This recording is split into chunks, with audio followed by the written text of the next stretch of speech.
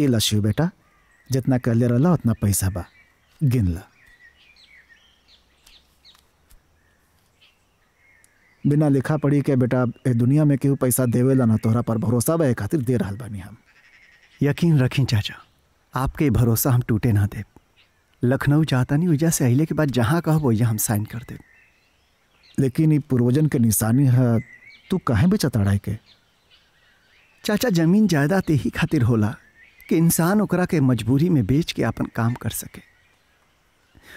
और फिर बात अगर हमरे ज़िंदगी के रहित ना चाचा तो हम समझौता कर लेते।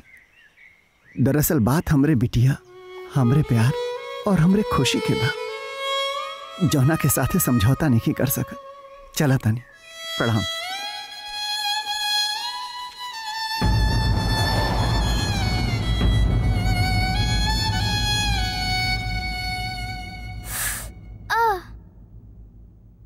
अरे वाह आपकी बेटी बहुत प्यारी और बहादुर भी है बड़े हिम्मत वाली है। मैडम हमारी बेटी बहुत हिम्मती है। ये छोट मोट सुई से डराए वाली ना है हमारी बेटी।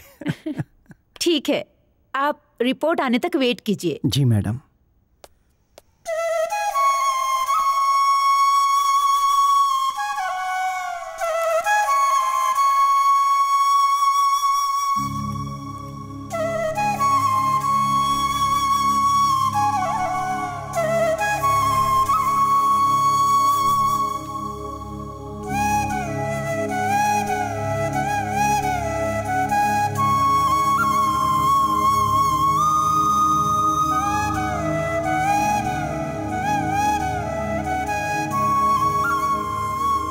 यूपी के सबसे बड़का अस्पताल है। हाँ। हाँ। मिस्टर शिव कुमार डॉक्टर ने आपको कैबिन में बुलाया है। जी। बिटिया हाँ? हम डॉक्टर साहब से मिल के आवतानी है ना? तू यही जा बैठा। जी। ओके ना? डॉक्टर साहब अंदर आ जाए। आओ शिव कुमार बैठो।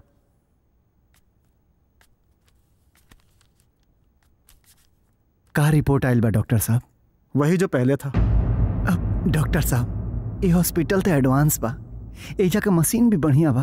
तो रिपोर्ट भी बढ़िया आवे के चाहिए ना, डॉक्टर साहब। देखो शिव कुमार, मशीन वही बताएगी जो बीमारी होगी। सच्चाई यही है कि तुम्हारी बेटी ब्लड कैंसर के लास्ट स्टेज पे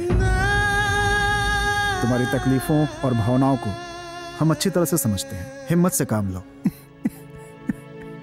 तुम्हारी बेटी के पास जो भी दिन बचे हैं रो कर नहीं हंस कर गुजार। Sorry Shiv Kumar. I am helpless ईश्वर के आगे हर साइंस हर टेक्नोलॉजी फेल है। जी डॉक्टर साहब ये लो शिव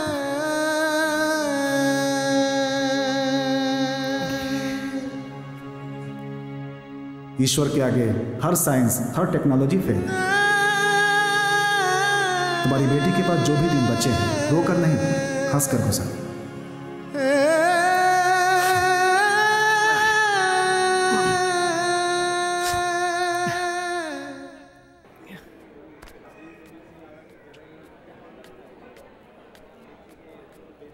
पापा? हम्म? डॉक्टर अंकल का कहले हा? हम कबले ठीक हो जाए? बिटिया डॉक्टर अंकल कहना है कि बिटिया रानी के लेके गाँव में जा। बिटिया रानी कुछ दिन में ठीक हो जी हैं। जी। ठीक बा? चले के गाँव में? हाँ। चला।